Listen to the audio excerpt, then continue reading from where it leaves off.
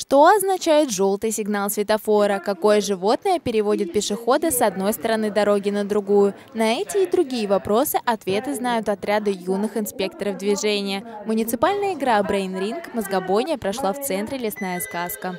Мы надеемся, что после сегодняшнего мероприятия дети сумеют применять правила дорожного движения в повседневной жизни и будут внимательны на дорогах.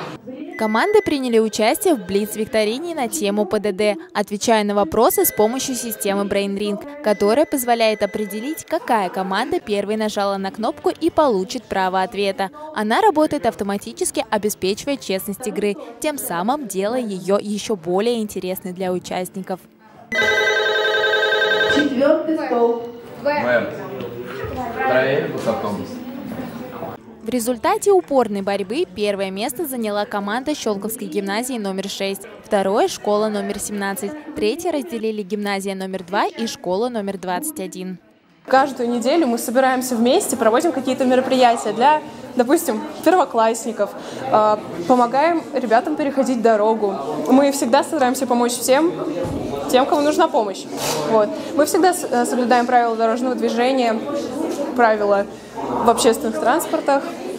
И стараемся обучать э, этому не только э, своих ровесников, но и младших. В городском округе Щелково проводится большая работа в общеобразовательных учреждениях по изучению правил дорожного движения и профилактики их нарушений на дороге.